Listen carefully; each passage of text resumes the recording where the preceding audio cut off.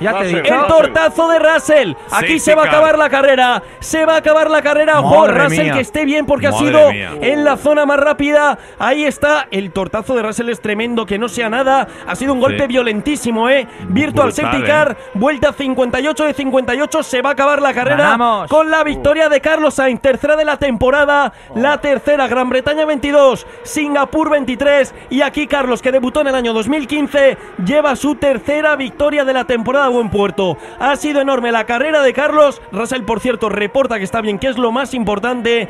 Pero Carlos, ganador de la carrera. Todavía falta la bandera cuadros para que sea del todo oficial. Virtual Safety Car. Pero, pero bueno, estamos en la última vuelta. Hay Virtual Safety Car. Russell está bien, que es lo más importante. Y Carlos que se va a llevar la victoria. La verdad es que las primeras veces de Carlos siempre sucede algo. El primer podio en Brasil con incógnita, una hora después. Hoy la victoria también con esa forma tremenda de terminar la carrera con Russell.